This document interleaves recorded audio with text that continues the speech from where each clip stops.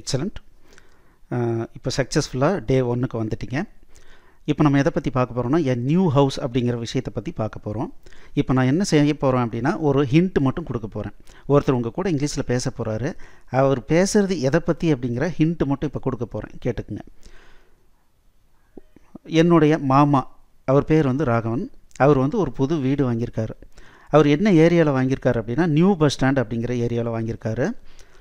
அதை பற்றி பேசுகிறாரு அதுக்கப்புறம் என்ன அப்படின்னா அந்த வீடு வந்து ஒரு டபுள் ஸ்டோரி பில்டிங்காக இருக்குது அதாவது கிரவுண்ட் ஃப்ளோரும் ஃபஸ்ட் ஃப்ளோரும் இருக்கிற மாதிரியான ஒரு பில்டிங்காக இருக்குது அந்த பில்டிங்கில் என்னென்ன இருந்தது அப்படிங்கிறத பற்றி பேசுகிறாரு சரி இப்போ ஒருத்தர் பேச போகிறாரு என்னன்றதை கேளுங்க. கேட்கும்போது முக்கியமாக கவனமாக வச்சுக்க வேண்டிய விஷயம் என்ன அப்படின்னா சும்மா ரிலாக்ஸ்டாக கேட்கணும். ரொம்ப கூர்ந்து கவனிச்சுலாம் கேட்கக்கூடாது. ரிலாக்ஸ்டாக உங்கள் காதில் என்ன சத்தம் வருது அது புரியுதா புரியலையாங்கிறத மட்டும் பாருங்கள் ஏன்னா இப்போ நான் ஒரு ஹிண்ட்டு கொடுத்துருக்கிறதுனால உங்களுக்கு ஓரளவுக்கு புரியும். புரியலைனாலும் வருத்தப்படாதீங்க. புரியுதுங்களா? ஜஸ்ட் ரிலாக்ஸ்டாக கே ஒரு முறை மட்டும் கேளுங்க. ஓகே இப்போது அவர் என்ன பேசுகிறாருங்கிறத இப்போ கேளுங்க. Recently, my uncle Raghavan bought a new house. The house is located in a new housing area called New Bus Stand. Many new houses and shops have been built in this area, which is about 10 minutes' drive from the old bus stand. Government agencies like the police, high court, and fire services have also been relocated to New Bus Stand. Uncle Ragavan's house is a double story terrace house. On the ground floor are the living room, kitchen, toilet, and a bedroom. On the first floor are four bedrooms. There are two toilets, one of them being attached to the master bedroom. Okay இப்போ ஒருத்தர் பேசினார் அவர் என்ன பேசினாருங்கிறத ஓரளவுக்கு உங்களுக்கு அறகுறையாக புரிஞ்சிருக்கும். இப்போ அவர் என்ன பேசினாருங்கிறத நம்ம அனலைஸ் பண்ணலாம். ஓகே அவர் இப்போ இதை தான் பேசினார். என்னென்னா ரீசன்ட்லி சமீப காலத்தில் மை அங்கிள் என்னுடைய மாமா அவர் பேர் என்ன? ராகவன். பாட் வாங்கினார். பையினுடைய பாஸ்டன்ஸ் தான் பாட் பாட்னா வாங்கிட்டார். என்ன வாங்கினாரு? என் நியூ ஹவுஸ் ஒரு புது வீட்டு வாங்கியிருக்காரு. த ஹவுஸ் இஸ் வீடு இருக்குது லொக்கேட்டட் எங்கே லொக்கேட் ஆகிருக்குன்னா த வீடு எங்கே locate ஆகிருக்குன்னா in a new housing area ஒரு புதுசாக ஒரு இடம் டெவலப் ஆகிட்டுருக்கு அதுதான் என்னென்னு சொல்கிறோம் நியூ ஹவுசிங் ஏரியா வீடுகள்லாம் இருக்கிற மாதிரியான ஒரு ஏரியா டெவலப் ஆகிட்டுருக்கு அந்த இடத்த என்னென்னு கூப்பிடுறாங்கன்னா கால்டு கால்டு அப்படின்னா என்ன அர்த்தம்? எப் என்னென்னு அழைக்கிறாங்கன்னு அர்த்தம். New bus stand new bus ஸ்டாண்டுன்னு பேர் சொல்லி கூப்பிட்றாங்க. மெனி நியூ ஹவுசஸ் நிறைய புது வீடுகள். அண்ட் ஷாப்ஸ் மேலும் கடைகள். ஹேவ் பீன் பில்ட் பில்ட் அப்படின்னா கட்டப்பட்டிருக்குன்னு அர்த்தம். ஏன் ஹேவ் பீன் பில்ட் அப்படின்னு போட்டிருக்காங்கன்னா இதையெல்லாம் ஒரே டைமில் கட்டலை. ஒரு பத்து பதினஞ்சு வருஷமாக ஒவ்வொரு வீடாக ஒவ்வொரு கடையாக ஒவ்வொரு வீடாக இந்த மாதிரி கட்டி கட்டி ரொம்ப நாளைக்கு அப்புறம் இன்றைக்கி இருக்கிற மாதிரி இருக்குது அப்படின்னு சொல்கிறத எப்படி நம்ம சொல்லணும்? ஹேவ் பீன் பில்ட் அப்படின்னா என்ன அர்த்தம்? கொஞ்சம் கொஞ்சமாக டெவலப் ஆயிடுச்சு இன்றைக்கி இருக்கிற பொசிஷனுக்கு வந்திருக்கு.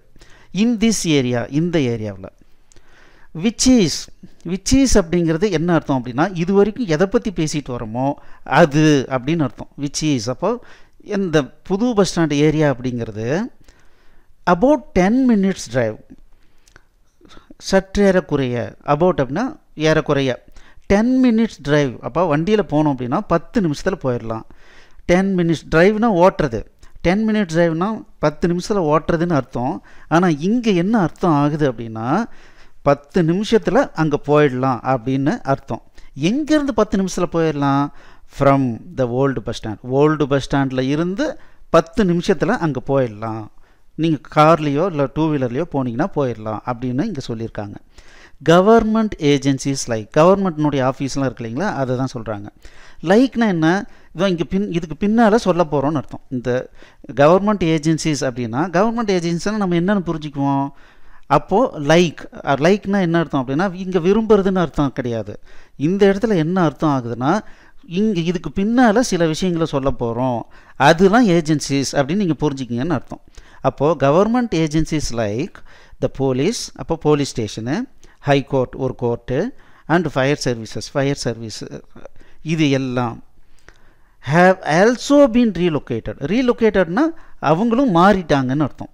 ஹேவ் ஆல்சோ பீன் ரீலொக்கேட்டட்னா என்ன அர்த்தம்? அவங்களும் ஆல்சோ அப்படிங்கிறதுனா அவங்களும் மாறிட்டாங்க. அதுவும் ஒரே நாளில் மாறினாங்களா? இல்லை ரொம்ப நாள் ஒவ்வொன்றா மாறுனுச்சு. அதை சொல்கிறதுக்காக என்ன பண்ணியிருக்காங்க ஹவ் ஆல்சோ பீன் ரீலொகேட்டட் அப்படின்னு சொல்லியிருக்காங்க to the new bus stand அப்போ இந்த புது பஸ் ஸ்டாண்டுன்ற ஏரியாவுக்கு மாறிட்டாங்க. Uncle Raghavan's house is a double storey terrace house அந்த அங்கிள் ராகவன்றதனுடைய வீடு எப்படி இருக்குது ஈஸியாக டபுள் ஸ்டோரி டெரஸ் ஹவுஸ் ரெண்டு அடுக்கு மாடியாக இருக்குது on the ground floor so ரெண்டு அடுக்கு இருக்குன்னா கீழே இருக்கிற அடுக்கு என்னன்னு சொல்லுவோம்? கிரவுண்ட் ஃப்ளோர்னு சொல்லுவோம். அதுக்கு மேலே இருக்கிறத ஃபஸ்ட் ஃப்ளோர்னு சொல்லுவோம். அப்போ ஆன் த கிரவுண்ட் ஃப்ளோர் அப்போ கிரவுண்ட் ஃப்ளோரில் ஆர் த லிவிங் ரூம் இதெல்லாம் இருக்குது என்னென்ன இருக்குது லிவிங் ரூம்னா பெரிய ஒரு ஹால் இருக்குது கிச்சன் கிச்சன் இருக்குது அதாவது சமையலறை டாய்லெட் டாய்லெட் இருக்குது அண்ட் பெட்ரூம் அங்கேயும் ஒரு பெட்ரூம் இருக்குது அடுத்தது ஆன் த ஃபஸ்ட் ஃப்ளோர் அதுக்கு மேலே இருக்கிற ஃப்ளோர் என்ன? First floor are four bedrooms அங்கே வந்து நாலு பெட்ரூம்ஸ் மட்டும் இருக்குது there are two toilets so மேலே ஃபஸ்ட் ஃப்ளோரில் ரெண்டு டாய்லெட் இருக்குது one of them being attached one அந்த ரெண்டு டாய்லெட்டில் ஒன்று வந்து எங்கே இருக்குன்னா ஒன் ஆஃப் தெம் இந்த ரெண்டில் தேர் ஆர் டூ டாய்லெட்ஸ் ரெண்டு டாய்லெட் இருக்குது இது ரெண்டில் ஒன்று அப்படின்னு சொல்கிறதுக்கு என்னன்னு சொல்கிறாங்க ஒன் ஆஃப் தெம் இந்த ரெண்டில் ஒன்று being attach to the master bedroom being attach to the bedroom ஒரு பெட்ரூமில் அட்டாச் பண்ணியிருக்காங்க ஆனால் இங்கே மாஸ்டர் பெட்ரூம் அப்படின்னு சொல்கிறாங்க இந்த மாஸ்டர் பெட்ரூம்ங்கிறதுக்கு இங்கே என்ன அர்த்தம் அப்படின்னா பிரதான அறைன்னு அர்த்தம். பிரதான பெட்ரூம்னு அர்த்தம். அதுதான் அடிக்கடி யூஸ் பண்ணுற பெட்ரூம் அப்படின்னு அர்த்தம். இதே மாஸ்டருங்கிற வார்த்தையை வேறு விதமாகவும் யூஸ் பண்ணுவாங்க. எப்படி யூஸ் பண்ணுவாங்க? ஒரு குறிப்பிட்ட விஷயத்தில் அவர் நிபுண நிபுணத்துவம் அடைஞ்சிட்டார். அவர்கிட்ட போனால் போதும் அவர் அதில் மாஸ்டரு என்ன கேள்வி கேட்டாலும் நம்ம உடனே சொல்லிடுவார். அப்படின்றதுக்கு இந்த மாஸ்டர் யூஸ் பண்ணலாம். இதே இந்த மாஸ்டரை வேறு விதமாகவும் யூஸ் பண்ணலாம். மாஸ்டர் சுரேஷ் அப்படின்னா சுரேஷுங்கிறவன் ஒரு சின்ன பையன் அப்படின்னு நமக்கு புரிய வைக்கிறதுக்காக என்னென்னு சொல்லுவாங்க. மாஸ்டர் சுரேஷ் அப்படிங்கிறத சொல்லுவாங்க. ஆனால் இந்த இடத்துல மாஸ்டர் பெட்ரூம்னா என்ன அர்த்தம்? முக்கியமான பிரதான பெட்ரூம் அப்படின்னு சொல்கிறாங்க இதை தான் அவர் பேசினார். இப்போது மறுபடியும் வேற ஒருத்தர் பேச போகிறாங்க இதே விஷயத்தை தான் பேச போகிறாங்க ஜஸ்ட்டு கவனிங்க. உங்களுக்கு கண்டிப்பாக எந்த அளவுக்கு புரியுதோ அந்த அளவுக்கு புரிஞ்சால் போதும். மனப்பாடம் பண்ணுறதுக்கோ ரொம்ப கூர்ந்து கவனிக்கிறதுக்கோ முயற்சியே பண்ணாதீங்க. ஓகே இப்போது பார்க்கலாம். Recently, my uncle Raghavan bought a new house. The house is located in a new housing area called New Bus Stand. Many new houses and shops have been built in this area which is about 10 minutes drive from the old bus stand government agencies like the police, high court and fire services have also been relocated to new bus stand Uncle Raghavan's house is a double-story terrace house. On the ground floor are the living room, kitchen, toilet and a bedroom. On the first floor are four bedrooms. There are two toilets, one of them being attached to the master bedroom.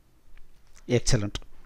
So இப்போது முக்கியமாக நம்ம கவனிக்க வேண்டியது என்னென்னா ஒரு English speaking person வந்து எப்படி ஒவ்வொரு வார்த்தையும் பேசுகிறாரு அப்படிங்கிறத நீங்கள் கவனிச்சிருப்பீங்க.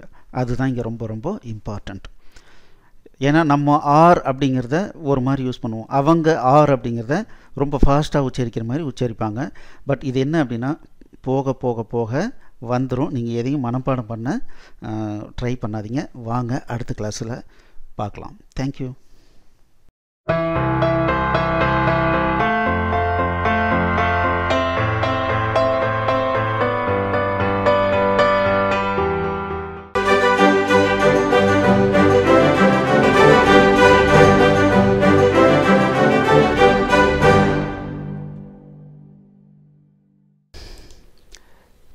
எக்ஸலண்ட் இந்த வீடியோ உங்களுக்கு பிடிச்சிருந்தால் லைக் பண்ணுங்கள் எங்கள் சேனலுக்கு சப்ஸ்கிரைப் பண்ணுங்கள் இந்த வீடியோவை ஷேர் பண்ணுங்கள் குறிப்பாக உங்களுடைய கமெண்ட்ஸ் எழுதுங்க. மேலும் எங்களுடைய அனைத்து கோர்ஸ் என்னென்ன வச்சுருக்கோன்றதை பார்க்குறதுக்கு கீழே இருக்கிற டிஸ்கிரிப்ஷனை கண்டிப்பாக படிங்க. தேங்க்யூ